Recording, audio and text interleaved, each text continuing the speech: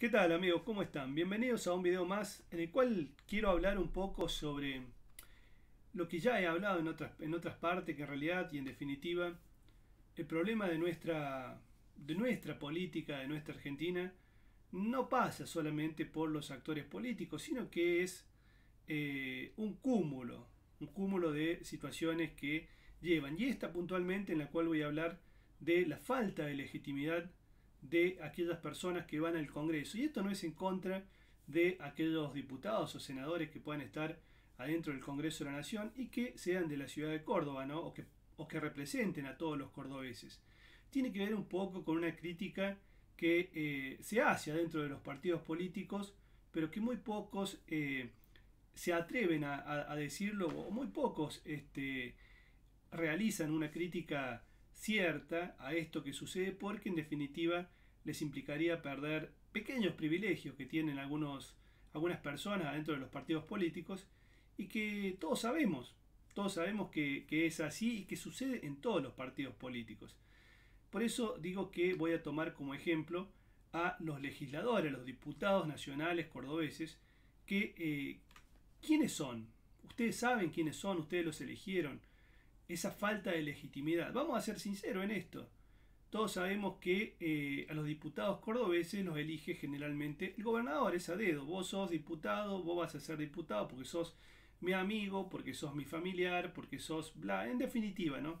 Todos sabemos cómo se maneja esto. Y en el Partido Radical, eh, estamos hablando del Partido Gobernante. El Partido Radical sucede exactamente lo mismo. Son los amigos y los parientes de alguien que llega a, este, a ser legislador o diputado nacional en este caso, porque el, eh, el presidente del partido, porque alguien los, los, nominó, o porque tienen un pariente. Vamos a ver los nombres y vamos a ir viendo poco a poco por qué llegaron, o, al menos por qué eh, hago este análisis para que este, sepamos que esta gente en definitiva es la que tiene una gran responsabilidad y después vamos a ver si han hecho algún proyecto, cuáles son los proyectos que han presentado, en fin, vamos a tratar de ver, esto no es en contra de simplemente es tratar de hacer un análisis para que eh, esto que llamamos democracia se transforme en una real democracia, es decir, para que existan los, las internas partidarias, es decir, los partidos políticos deberían tener internas para dilucidar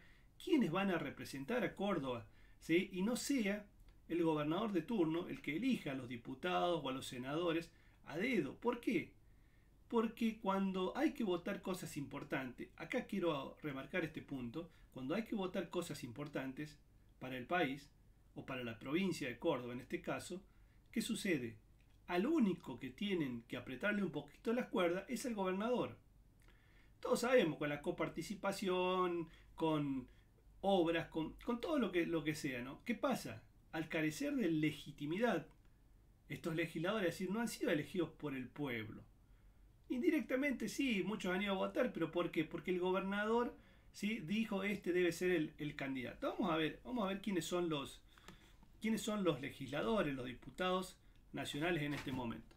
Aquí vemos primero, bueno, a Héctor Baldassi. Héctor Baldassi es un ex árbitro de fútbol que este, eh, hubo una época en la cual Argentina empezó el desbande, ¿no? Yo que empezaron a surgir personas dentro eh, de los partidos políticos. Creo que Menem fue el que primero inició todo esto. Ustedes saben, Scioli corría en lancha, Palito Ortega cantaba, llegó a ser gobernador de Tucumán. Y allí, se, bueno, ya desde antes también se venía, se venía perdiendo la legitimidad. Eh, por el hecho de que un presidente, un gobernador, elegía a un candidato. Y después empezaron a aparecer personajes de la farándula, personajes que captaban la atención o que entre comillas hacían justicia, es el caso de Baldassi, el cual obviamente no, no tiene ningún mérito, vamos a ser sinceros en esto, no tiene mérito para llegar a ser político y menos diputado nacional por el PRO, porque es decir, al no tener eh, el contacto ¿sí? con referentes o con gente que puede él ir juntando, puede ir viendo este, quiénes son los que lo apoyan, por qué lo apoyan. El problema es que decidieron desde Buenos Aires, el caso del PRO, porque el PRO en realidad nunca tuvo una expansión a nivel eh, nacional, sino que eh, simplemente tenía a Mauricio Macri como Este, en un momento fue presidente, después fue intendente de la Ciudad de Buenos Aires. Y bueno, fueron probando con diferentes tipos de personalidades que sobresalían en ámbitos totalmente distintos a los, y a la responsabilidad que implica ser legislador nacional. En fin, vamos a dejarlo allí a este a Baldassi.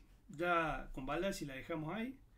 Acá tenemos a eh, Gabriela Brauer de Koning. Yo la verdad que esta chica no la conozco, no tengo ni idea, me suena el apellido porque creo que debe tener alguien en el Tribunal Superior de Justicia o alguien hubo allí en Córdoba. Evolución Radical, la verdad que tampoco lo, conozco, ese, debe ser, ese es el bloque, ¿no? Se habrá escindido de la Unión Cívica Radical.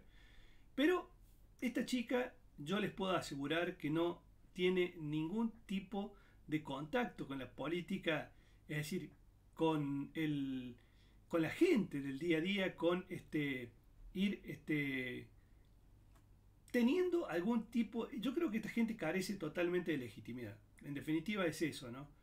Es decir, que si bien han sido votados, eh, ha sido votado por una lista, eh, no hay este, una propuesta. Yo la verdad que respecto de todos estos candidatos no les conozco absolutamente ninguna propuesta. Ninguna propuesta. Y los medios de comunicación oficiales, ustedes saben, no lo van a decir porque a ellos les conviene que la gente no sepa esto. Es muy simple. Vamos a seguir. Carazo Marco Gustavo. Yo la verdad que este Carazo no lo conozco, supongo que puede ser, supongo, no lo sé. Este será familiar, será algo de la Unión Cívica Radical. La verdad que no, no tengo, no, tengo, no tengo la más mínima noción quién es este hombre, que en definitiva vota eh, a favor o en contra de determinadas leyes, carece de legitimidad y de este de un poder propio para decidir en consecuencia de la ciudadanía. Esto me refiero. Carris Soledad. Esta chica creo que, bueno, puede que este, tenga un poquito más de legitimidad porque creo que fue intendenta de un pueblo del norte de Córdoba. Quizás tenga un poco más de conocimiento, quizás digo, no, no creo que eh, sea la luminaria, pero puede que, bueno, pongámosle, ha llegado a ser intendente de un pueblo, bueno, en fin. Carro Pablo, frente de todo. Yo este Carro Pablo no, no tengo ni idea, la verdad que. De la Sota Natalia. Bueno, esta chica yo creo que aquí, bueno, debemos de tenerlo. Fue la, hija de un ex gobernador que falleció hace poco tiempo. Y que si no fuera porque es la hija de, un ex gobernador, posiblemente eh, sola, buscando los votos, si un gobernador no la apoya, no tendría ninguna posibilidad. Yo creo que estas son cosas que este, debemos, debemos, debemos recordar que es muy importante para poder, para que la política mejore en, el país, en la provincia, en todos lados, es que, es que nuestros legisladores y diputados tengan necesariamente legitimidad, es decir, que un candidato que es apoyado por un gobernador directamente no lo deberíamos votar porque carece de legitimidad, es decir, carece del poder de decisión, de tomar decisiones conforme a lo que esta persona considera que es justo, que es necesario para eh, los ciudadanos. ¿Me entienden? Porque si son empleados de un gobernador o empleados de un presidente de un partido político, es obvio que lamentablemente no, no hay ninguna posibilidad. Eh, de Loreo Rodrigo. Bueno, de Loreo Rodrigo es un. Creo que es, un, es el yerno de uno de, los de de de, un ex gobernador o, por ahí anda.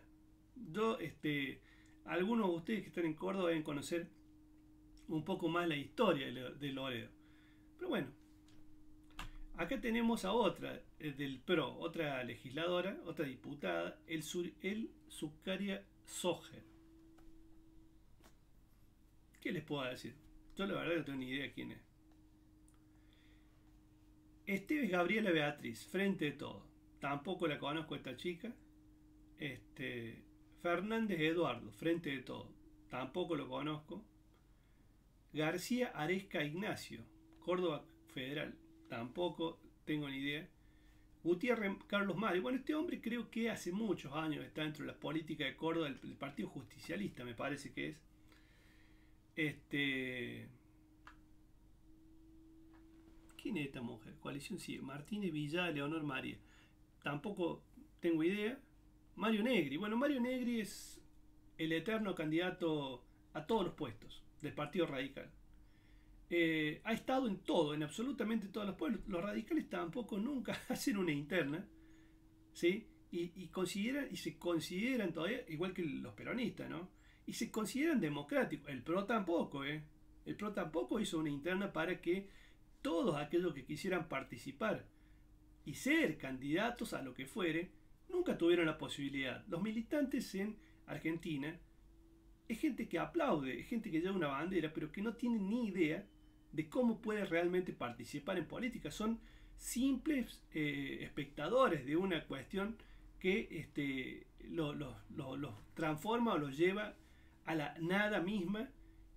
Por eso le digo, eh, ¿qué sentido tiene este, tener esta clase de representantes? Que ya vamos a ver cuáles son los proyectos que han presentado. Vamos a buscar el historial. En otro video lo vamos a hacer. El historial de cuáles son los proyectos. Es decir, ¿Cuáles son las cosas que han hecho para, mejorar el, país o la, provincia, por lo menos? Seguimos. Rodríguez Machado Laura. Esta chica no, no sé quién es, tampoco creo. Alguna vez puedo haber escuchado eh, que andaba por allí. Romero Víctor Hugo. Bien, gracias, de la Unión Cívica Radical. Eh, del PRO, este, Roarte Adriana Noemí. Vamos a ver si tienen un CV, si tienen algo. de gente y vamos a ver a qué se dedican, ¿no? Después, en el próximo video, me voy a ir al Bundestag alemán para ver si puedo hacer una comparación de eh, qué han estudiado, qué han hecho. Es decir, vamos a tratar de hacer un... a ver si, si esto nos da una pauta de, de lo que en realidad está sucediendo en, en, Argentina, ¿no? O, cuáles son las fallas que tenemos. Primera falla, ya lo dijimos, es la falta de legitimidad, como consecuencia de la falta de interna, es decir, son elegidos a dedo, volvemos a repetir.